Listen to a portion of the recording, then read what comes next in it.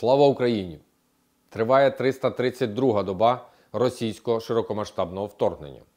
Загроза завдання ударів з використанням ракет наземного та повітряного базування і дронів камікадзе залишається по всій Україні. Протягом доби противник здійснив 26 авіаційних ударів та 15 обстрілів з реактивних систем залпового вогню. Ворог не відмовляється від своїх загарбницьких планів. Основні зусилля зосереджує на спробах повної окупації Донецької області.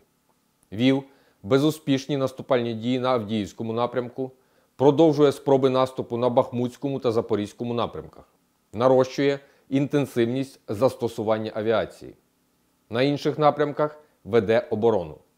На Волинському, Поліському, Сіверському та Слобожанському напрямках наступальних угруповань не виявлено.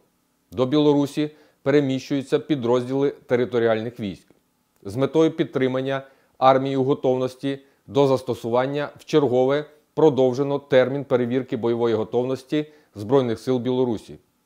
Цього разу до 30 січня. Зберігається загроза провокаційних прикордонних збройних інцидентів.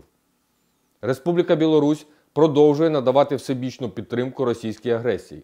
Окрім спільних навчань, на території Білорусі триває підготовка російських підрозділів. Ворог не припиняє вести артилерійські обстріли вздовж усієї лінії зіткнення. Від мінометного та артилерійського вогню противника постраждали райони населених пунктів Бачівськ та Волфине Сумської області, а також ветеринарне, Козача Лопань, Стрілеча, Красне, Стариця, Огірцеве, Вовчанськ, Бударки, Колодязне та Новомлинськ на Харківщині.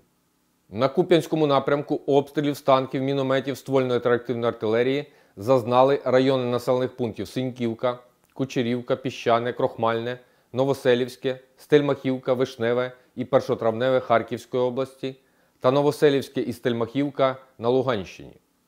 На Лиманському напрямку ворог обстріляв Новоєгорівку, Макіївку, Площанку, Невське, Червонопопівку, Діброву і Серебрянське лісництво Луганської області. На Бахмутському напрямку вогневого ураження зазнали позиції наших військ в районах понад 25 населених пунктів.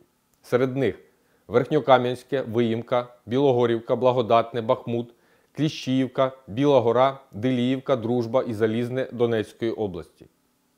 На Авдіївському напрямку під ворожий вогонь потрапили Авдіївка, Водяне, Первомайське, Невельське, Георгіївка, Мар'їнка і Новомихайлівка на Донеччині. На Новопавлівському напрямку обстріляно Вугледар, Причистівку, Золоту Ниву та Велику Новосілку Донецької області.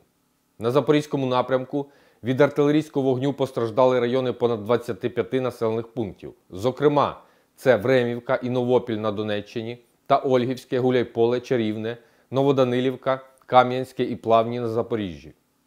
На Херсонському напрямку окупанти знову обстріляли з усього спектру артилерії Веселе Запорізької області та Козацьке, Новоберислав, Тягинку, Токарівку, Садове, Надніпрянське та Херсон. Ворог посилює контроль обліку мирного населення на тимчасово захоплених територіях Херсонської області. Зокрема, намагається створити базу даних місць проживання мирних громадян, погрожуючи відключенням від електроенергії. Під виглядом виконання програми економії електроенергії так звана влада здійснює примусові заходи щодо підписання акту про підтвердження фактичного місця проживання громадянина. Авіація Сил оборони протягом доби завдала 13 ударів по районах зосередження ворога та 2 по позиціях його ЗРК. Наша артилерія також уразила район зосередження загарбників. Вірте у Збройні сили! Разом переможемо! Слава Україні!